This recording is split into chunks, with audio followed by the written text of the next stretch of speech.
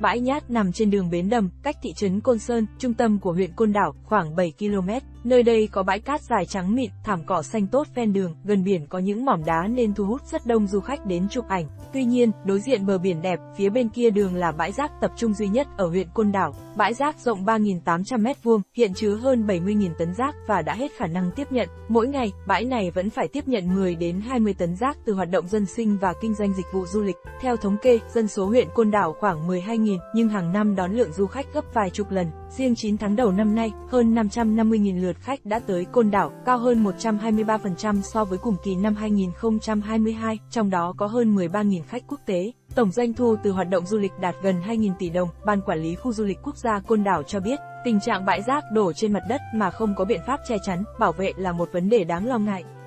Rác được đổ trên mặt đất mà không có biện pháp che chắn, bảo vệ. Mỗi khi rác nhiều, công nhân phải dùng máy múc san gạt tạo mặt bằng. Rác mới, màu sáng, rác cũ, màu tối, chất cao như những quả đồi. Trong đó hơn 46% là rác hữu cơ, 17% là túi ni lông, 16% là bao bì thực phẩm. Chính quyền huyện Côn Đảo cho biết lượng rác lớn do hoạt động du lịch tăng trưởng nhanh, rác trôi giạt từ đại dương vào bờ. Trong khi đó việc kêu gọi đầu tư, lựa chọn công nghệ xử lý rác gặp khó khăn. Bãi rác chỉ cách bờ biển chưa tới 100 mét, lại là khu vực đón gió nên nhiều túi ni lông, chai lọ phát tán ra biển. Tổ chức quốc tế về bảo tồn thiên nhiên, WWF Việt Nam, tính toán mỗi năm lượng rác thoát ra môi trường ở Côn Đảo là 32 tấn, riêng bãi nhát chiếm hơn một nửa. WWF cảnh báo với cơ sở hạ tầng hạn chế, bãi lưu giữ chất thải đã quá tải và ở ngay sát biển, nếu xảy ra sự cố, hàng chục tấn rác thải nhựa có nguy cơ phát thải ra biển, để lại hậu quả nghiêm trọng. Cùng với đó, do đổ trực tiếp ra mặt đất, Báo cáo của Ngân hàng Thế giới năm 2022 đã đưa ra một thông tin đáng lo ngại, Việt Nam là một trong năm quốc gia xả rác thải ra đại dương nhiều nhất trên thế giới. Tình trạng này có thể gây ra những hậu quả nghiêm trọng cho môi trường biển và sức khỏe con người. Theo báo cáo, nếu không có biện pháp ứng phó kịp thời, trong tương lai, mỗi 3 tấn cá khai thác được sẽ đi kèm với một tấn rác thải. Rác thải nhựa, đặc biệt là túi ni lông, đã trở thành một phần không thể thiếu của chuỗi thức ăn biển.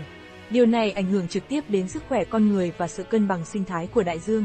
Bãi rác nằm trong khu vực của vườn quốc gia Côn Đảo, một địa điểm đẹp và quan trọng từ góc độ sinh thái. Tuy nhiên, bãi rác này đang gây ra nhiều lo ngại vì nằm cách biển chỉ chưa đầy 100 mét. Điều này làm cho nước dỉ từ bãi rác dễ dàng chảy vào biển hoặc thấm vào đất gây ô nhiễm nghiêm trọng. Bãi rác này nằm sau khu vực đặt bia tưởng niệm cuộc vượt ngục nổi tiếng của 198 người tù lao động vào năm 1952 và trên cung đường ngắm hoàng hôn đẹp nhất Côn Đảo. Tình trạng này khiến nhiều du khách đến đây cảm thấy e ngại dừng chân và ảnh hưởng đến trải nghiệm du lịch của họ. Ngoài việc rác thải phát sinh tại chỗ, Côn Đảo còn phải đối mặt với việc lượng lớn rác thải đại dương trôi giạt vào bờ. Một cán bộ dự án giảm thiểu rác thải nhựa đại dương của WWF Việt Nam cho biết họ tổ chức thu gom một lần mỗi tuần, nhưng vẫn không đủ để giảm bớt tình trạng ô nhiễm đang diễn ra.